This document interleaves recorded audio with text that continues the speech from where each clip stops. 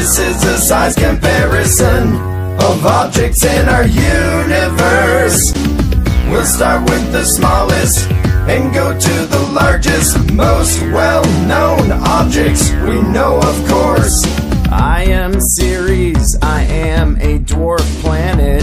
Makemake's a dwarf planet as well, but didn't plan it. I am Haumea, a dwarf planet in this group.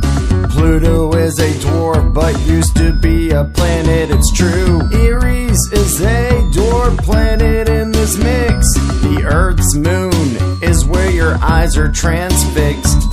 Mercury is here, an official planet. I'm the planet of Mars, I'm sure you all know this. I'm planet Venus, my size you may think is large. Planet Earth is next, and the humans think that they're in charge. System, wow.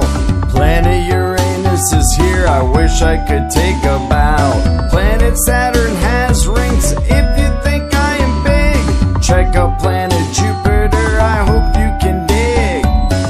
This is a size comparison of objects in our universe. We'll start with the smallest and go to the largest, most well known objects we know, of course. I am the sun, a yellow dwarf that isn't far. I am Sirius A, a main sequence star. My name is Pollux, a red giant star, it's true. Arcturus is a red giant star, this I thought you knew. I'm Aldebaran, a red giant star, that's me. Hi, I'm a blue white super giant, you see. I am Betelgeuse, and I'm a red super giant in class. I'm in Antares, I'm a red super giant that won't last. VY Canis Majoris, a red hyper giant star. I am the Milky Way galaxy, and you live in me. Now let's all sing the chorus together with glee. This is a size comparison of objects in our universe.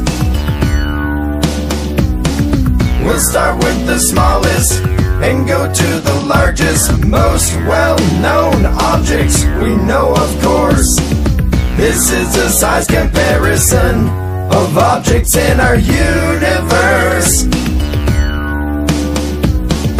We'll start with the smallest and go to the largest, most well objects we know of course.